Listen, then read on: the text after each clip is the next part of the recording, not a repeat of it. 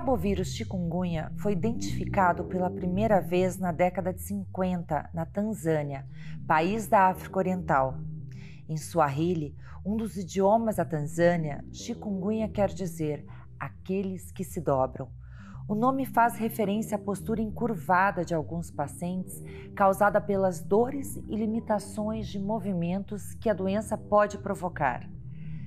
Os primeiros casos autóctones da doença no Brasil surgiram em 2014 e nos três primeiros meses de 2023 já foram notificados mais de 35 mil casos prováveis de chikungunya no país, um aumento de 110% em relação ao mesmo período de 2022.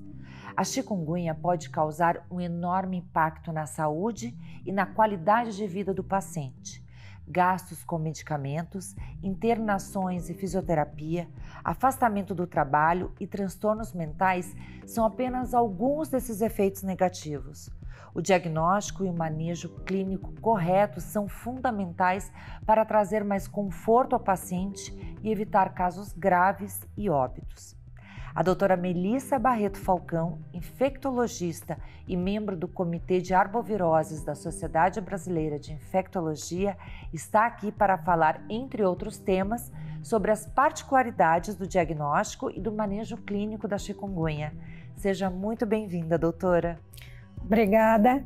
Um prazer estar aqui com todos vocês. Agradeço esse convite e a oportunidade de falar de uma doença que tem um impacto tão grande na qualidade de vida daqueles pacientes acometidos.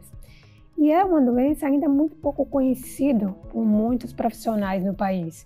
Então, oportunidades como essa são essenciais para que o maior número possível de profissionais de saúde conheçam a doença para que possam fazer um diagnóstico quando chegar na sua cidade e, principalmente, manejar corretamente o paciente para que ele possa ter um alívio das suas dores e retornar à sua qualidade de vida.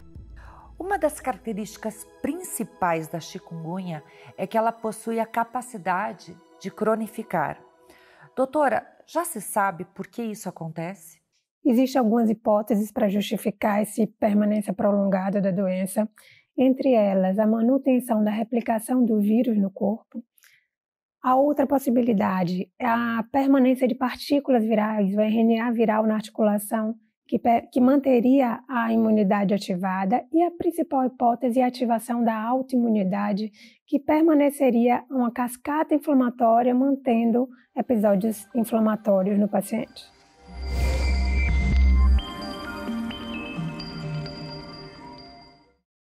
Quais são os sintomas mais comuns da fase aguda da doença. É, esse é um ponto importante da gente falar, porque vão ser os sinais e sintomas que vão chamar a atenção para o médico pensar, pode ser chikungunya. As principais características são uma febre, de início súbito, aparece de uma hora para outra, associada a dor articular, normalmente intensa, em múltiplas articulações. Podem também acontecer um racho cutâneo, uma vermelhidão no corpo que pode coçar ou não, normalmente entre o segundo e quinto dia do início de sintomas, e dor muscular também é muito frequente, mas chama atenção uma dor articular com várias articulações acometidas associada com febre. E quais são os sintomas da dor neuropática da doença que é comum na fase crônica? Sim, a fase crônica nós podemos ter três tipos de manifestações: a dor articular, a dor músculo-esquelética e a dor neuropática. E precisa ser diagnosticado corretamente, porque o tratamento vai ser diferente para cada um desses tipos de manifestações. Então, sempre que o nosso paciente se queixar de sensação de queimação em algum lugar do corpo, sensação de choque, de agulhada, de formigamento, aquela sensação de que aquele local está esfriando ou está esquentando, vamos pensar que pode ter uma dor neuropática associada. Em quais casos as gestantes com sintomas compatíveis com chikungunya devem ser encaminhadas ao obstetra? Sempre que tiver um quadro de febre prolongada, quando estiver próximo ao período do parto, tiver redução do movimento fetal, sangramento, qualquer alteração relacionada à gravidez ou com a proximidade do período final, essa mulher deve passar por um obstetra para fazer uma avaliação mais rigorosa da sua saúde e da saúde do feto.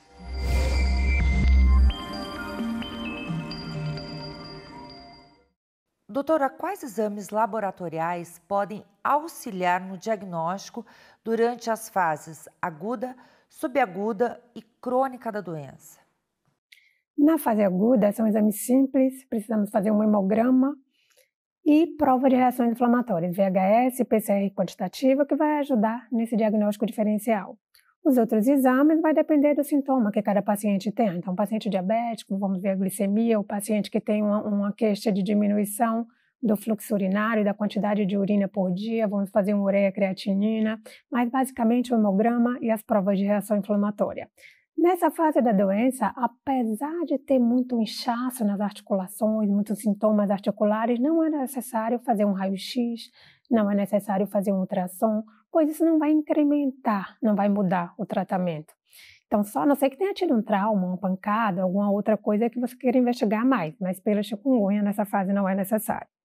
Nas fases subaguda e na fase crônica, podemos acrescentar alguns exames como a ureia creatinina obrigatoriamente, porque vamos fazer uso de anti-inflamatórios e outros medicamentos que podem alterar essa parte renal, além de autoanticorpos para avaliar doenças autoimunes que o paciente possa ter posteriormente, como lúpus, artrite reumatoide. É importante fazer esses exames também para diagnóstico diferencial. Além disso, aqueles pacientes que não tiveram seu diagnóstico confirmado na fase inicial, o exame específico para confirmar a chikungunya, uma sorologia, que é feita a partir do sexto dia, o PCR, nos primeiros cinco dias de doença, deve ser feito também uma sorologia para confirmação diagnóstico. Não devemos acompanhar esses pacientes na fase subaguda e na fase crônica, tratando como chikungunya sem essa confirmação. A avaliação da dor é um procedimento crucial para trazer mais bem-estar para o paciente, né? Doutora, como essa avaliação deve ser feita e de que forma ela orienta a conduta do profissional de saúde? É, a dor é o ponto-chave do tratamento da chikungunya. A chikungunya crônica é igual a uma dor crônica e ela precisa ser bem avaliada temos que ver qual tipo de dor o paciente apresenta. Ele tem uma dor por uma artrite, ele tem uma musculoesquelética, ele tem uma dor neuropática. Para isso, vamos avaliar as características dessa dor. Como é essa dor? Ela queima? Ela é dolorida? Como é? Quando apareceu? Há quanto tempo essa dor está presente? Qual a, qual a localização dessa dor? O que é que já usou de medicamento para alívio prévio? Muitas vezes, quando o paciente chega, ele já vem multimedicado, ou por automedicação, ou por vários profissionais de saúde que ele já passou. Então, tudo tem que ser muito bem avaliado. A anamnese, as perguntas que vamos fazer para avaliar essa dor e o exame físico também. Palpar as articulações, avaliar se tem alguma alteração visual, fazer um exame neurológico simplificado. Com esse, seguindo esse roteiro, não vai ter erro. Vamos identificar corretamente qual o tipo de dor do paciente e qual o melhor tratamento que vai aliviar suas dores. Doutora, e como é realizada a classificação de risco do paciente com suspeita de chikungunya? Sim, os, os pacientes que estão grávidas, as mulheres grávidas, as crianças abaixo de dois anos, principalmente os recém-nascidos, os idosos acima de 60 anos e as pessoas que têm comorbidades principalmente de difícil controle, são o grupo de risco da chikungunya. São aqueles pacientes que vamos precisar ter uma atenção maior. Todo recém-nascido, a criança nos primeiros 28 dias de vida, que nasceram com a chikungunya ou que desenvolveram a chikungunya nesse, período, precisam ser internadas para ser acompanhadas. E, além disso, todos aqueles outros pacientes que tiveram qualquer sinal de choque, teve hipotensão, extremidades frias, teve vômitos persistentes que acabam alterando a sua capacidade de ingerir líquido ou de se alimentar, tem alguma manifestação neurológica, ele tem uma alteração do nível de consciência, está mais sonolento, está mais irritado, tem convulsão, algum sinal localizatório, começa a ficar sem mexer algum membro, desvio da, da comissura labial. Todos esses sinais indicam que pode ter algum acometimento neurológico, acometimento cardíaco, bradicardia, uma taquicardia, um aceleramento ou diminuição do batimento cardíaco, uma arritmia, alteração desse ritmo, pode levar a pensar no acometimento cardíaco, que é muito comum na chikungunya, nas avaliações dos óbitos pós-chikungunya, quando, é quando são feitas autópsias, vemos que muitos dos pacientes que morrem pela chikungunya foi por uma alteração cardíaca que muitas vezes não foi diagnosticada em vida, mas não foi diagnosticada porque não foi investigado na hora do atendimento corretamente se essas alterações cardiológicas estavam frequentes, estavam presentes. Alterações renais também, com diminuição do débito urinário, alterações gastrointestinais, vômitos com sangue. Então, são diversos sinais que mostram a gente que o paciente pode estar agravando e que precisa ficar internado em observação. Grande parte dos pacientes que morrem por chikungunya é nesse período da fase aguda ou no início da fase subaguda. Então, identificando precocemente essas complicações, vamos conseguir salvar uma vida de muitos e muitos desses pacientes que complicam.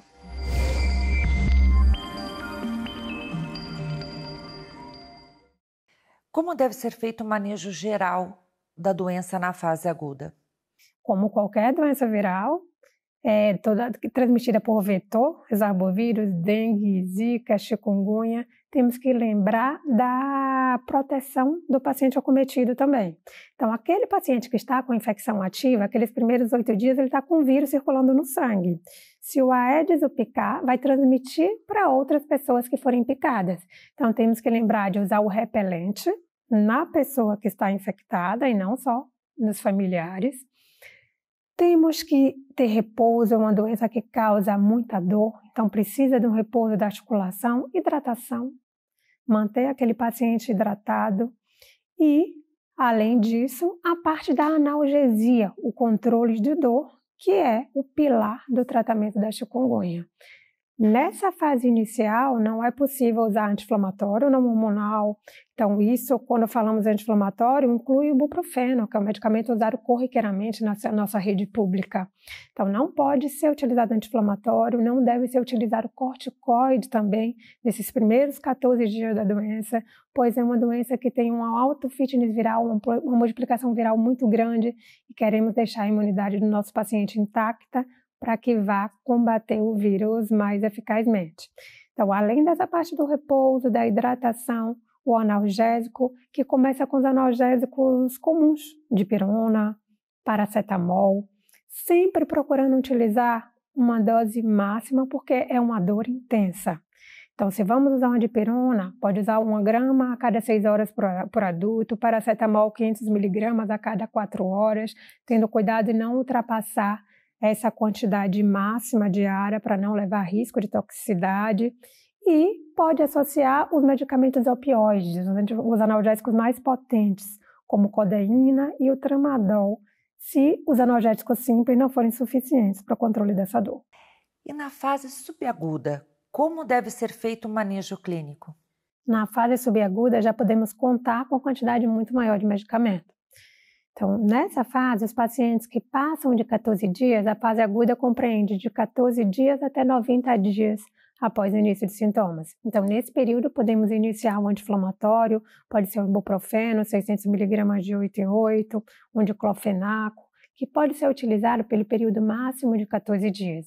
Vamos prescrever um anti-inflamatório, pedir para o paciente retornar no máximo em duas semanas e avaliar a resposta que ele teve em relação à dor. Se ele teve melhora da dor, não tem nenhuma contraindicação para uso anti-inflamatório, paciente jovem, sem nenhuma alteração renal, nenhuma outra doença associada, podemos manter esse anti-inflamatório pelo período máximo de quatro semanas. E aqueles pacientes que não tiveram resposta, aí vamos associar ou trocar para o corticoide. Então, será feita essa troca para uma prednisona na dose de 0,5 mg quilo dia, obedecendo ao máximo de 40 mg por paciente, independente do peso.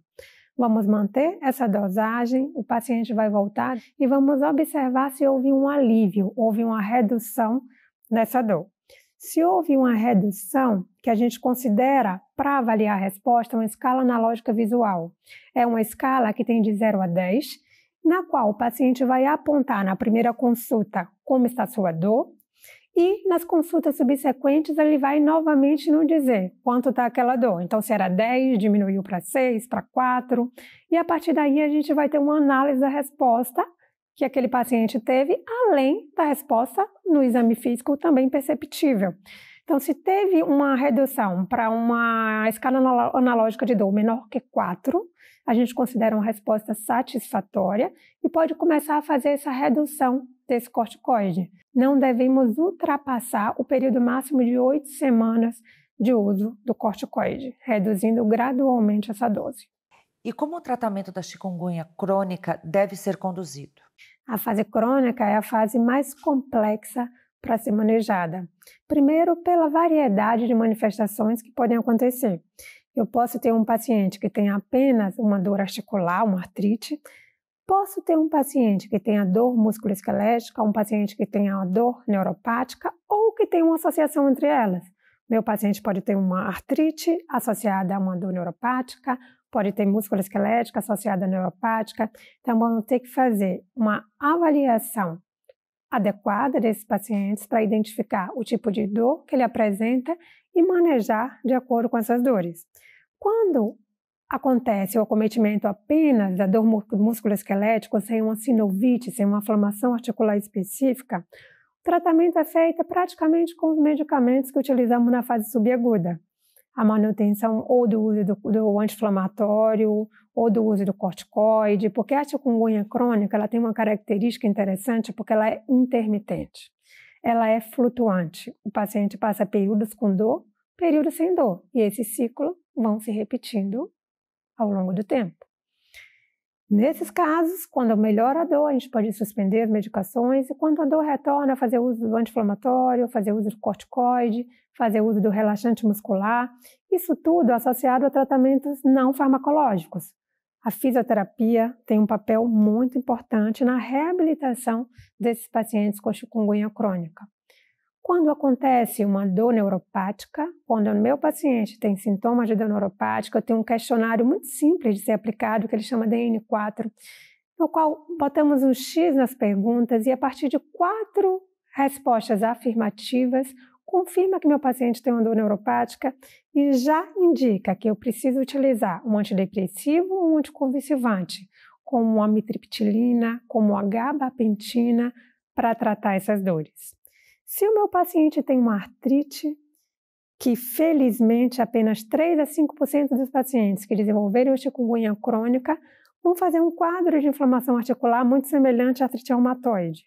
Esse quadro é o mais doloroso, o mais difícil de ser manejado e que causa um impacto maior na vida daqueles pacientes. Então, quando falamos que a chikungunya crônica traz junto com a dor depressão, insônia, é exatamente por conta desse ciclo de dor permanente. E como uma doença inflamatória, ela tem uma característica de piora da dor após os períodos de repouso. Então, muitas vezes, buscamos no sono um alívio para nossas dores.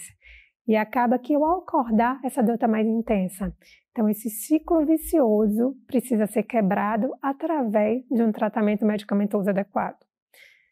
Para esses pacientes que têm diagnóstico da artrite, vai ser utilizado os DEMARs, doenças modificadoras da artrite reumatoide. São medicamentos que são utilizados na artrite que foram incorporados pela similaridade. No fluxograma do Ministério da Saúde, a principal medicação, a medicação de escolha para tratar esses pacientes é a hidroxicloroquina, na dose de 400 miligramas uma vez ao dia. Para aqueles pacientes que utilizaram por seis semanas essa medicação e que não teve benefício, vai ser avaliado a troca para o metotrexate na dosagem de 7,5 e 25 miligramas semanal. O metotrexate não é de uso diário, é de uso semanal e no dia seguinte é feito o uso de ácido fólico para reduzir o risco de efeitos colaterais relacionados a essa medicação. A hidroxicloroquina será incorporada pelo Ministério da Saúde para tratamento da chikungunya, sendo que ela vai ser liberada para esses pacientes mas o metotrexate, por enquanto, não vai ser liberado pelo SUS para tratamento dos pacientes com chikungunya crônica. Doutora, o tratamento das manifestações musculoesqueléticas segue um fluxograma específico, não é mesmo? Sim. Ou temos fluxograma determinado para as fases da doença, a fase aguda até os primeiros 14 dias, após aguda de 14 a 90 dias e a crônica após 90 dias. Na fase crônica vai ter um fluxo diferente para dor musculoesquelética, para dor neuropática e para dor articular. Isso tudo bem definido, porque a nossa intenção é que esse fluxograma permita o acompanhamento desses pacientes nas unidades básicas de saúde, se for necessário, paciente em qualquer nível de atenção. Para aqueles pacientes que vão precisar de um tratamento mais, mais avançado, como o uso do metotrexate, algumas vezes quando não responde ao metotrexate na artrite, os pacientes podem usar um imunobiológico, mas nesse caso vai ser acompanhado especificamente pelo, pelo reumatologista. Mas os nossos fluxogramas permitem um acompanhamento por qualquer clínico, por qualquer médico que faça uma leitura e que procure fazer esse acompanhamento. E quais são as contraindicações dos fármacos utilizados no tratamento da chikungunya? É, esse é um ponto importante, principalmente porque tem muita automedicação. É uma doença que causa uma dor importante, o paciente não consegue sair para trabalhar, atrapalha suas atividades básicas, sua rotina do dia a dia. Então, acaba que ele se automedica, o vizinho automedica, o balconista da farmácia. Então, a gente precisa ter cuidado com a dose terapêutica adequada, o tempo necessário de uso daquelas medicações e as características particulares do meu paciente. Qual a idade desse paciente? É um paciente idoso? Se for idoso, eu vou ter mais, mais cuidado de usar anti-inflamatório. Se for utilizar, utilizar por um período menor. A minha, minha paciente está grávida. Na gravidez é um, um arsenal muito pequeno de medicamentos que a gente pode utilizar. Para essas pacientes grávidas, a gente pode contar com uso de paracetamol, com compressas de gelo, uma coisa também importante que ajuda a manejar os pacientes, principalmente na fase aguda, é compressa de gelo. Tratamento eficaz, bota o gelo, não, não, envolve num pedaço de pano, deixa lá 20 minutinhos, não pode passar de 20 minutos, porque pode causar queimadura no local, e ajuda esse tratamento, principalmente das gestantes, que tem uma limitação maior, as crianças têm alguns medicamentos também que não pode ser utilizado, então eu tenho que pensar no benefício e na toxicidade do medicamento que eu vou utilizar. E esses efeitos adversos, eles devem ser considerados no momento de fazer a escolha terapêutica, não é mesmo, doutora? Sim, vamos ter que avaliar qual o melhor esquema terapêutico para aquele paciente. E não só qual o melhor esquema terapêutico, mas também quais exames eu preciso fazer para avaliar o meu paciente antes de colocar as medicações. Isso principalmente quando falamos da artrite, que vai utilizar medicamentos como hidroxicloroquina, como metatrexate. A hidroxicloroquina precisa de uma avaliação com o oftalmologista antes do início do medicamento, porque a presença de retinopatia contraindica o uso dessa medicação. O metatrexate causa uma baixa da imunidade então, vai precisar fazer um raio-x de tórax para avaliar se aquele paciente não tem uma tuberculose, afastar doenças ativas bacterianas por fungos, por tuberculose, qualquer doença ativa, afastar hepatites virais, hepatite B e C, afastar gravidez ou alergia àqueles medicamentos, que também pode acontecer. Então, fazer uma avaliação adequada daquele paciente faz com que a gente faça uma medicação que vai aliviar a dor, que não vai trazer riscos adicionais à sua saúde. Obrigada, doutora. Foi um prazer enorme tê-la aqui conosco hoje. Um grande prazer estar aqui com vocês e principalmente estar contribuindo para que cada um de vocês que está nos assistindo tenha um conhecimento da doença, trate os pacientes corretamente, que vai fazer uma diferença muito grande na vida dessas pessoas. É para isso que vale a pena ser, ser médico, por isso que vale a pena ser da área de saúde e fazer com que aquelas pessoas que estão sofrendo reabilitem e que voltem a ser felizes, né? Eu acho que esse é nosso principal objetivo, melhorar a vida do outro. Convido a vocês que estão aí Baixem o manual de chikungunya do Ministério da Saúde, um material que está bem completo, está sendo atualizado, em breve teremos uma versão nova, mas a versão antiga já é suficiente para que a gente veja de uma maneira abrangente os sintomas da chikungunya, como devemos fazer para manejar esses pacientes, e isso vai fazer uma grande diferença para nosso próprio conhecimento e para todos aqueles que passarem pelas nossas mãos, mãos e forem atendidos por nós. Muito obrigada. Obrigada. O material desse vídeo está disponível para consulta no link deste QR Code que você está vendo aí na tela. Nele você vai encontrar ainda mais detalhes sobre a sintomatologia, o diagnóstico e o manejo da chikungunya. No próximo vídeo, vamos falar sobre o manejo clínico da dengue. Compartilhe esses materiais com seus colegas e nos vemos na próxima. Até lá!